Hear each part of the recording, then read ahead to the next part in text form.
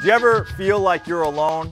You're walking by yourself? It'd be great to have other guys around you.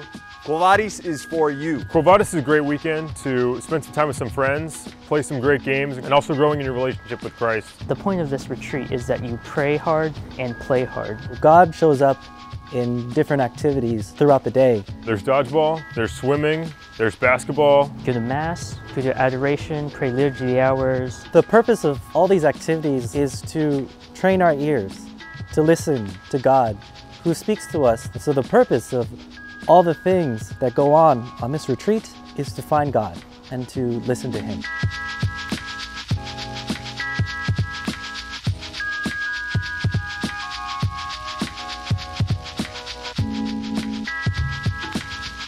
Quo Vadis, 2018, we'll see you there.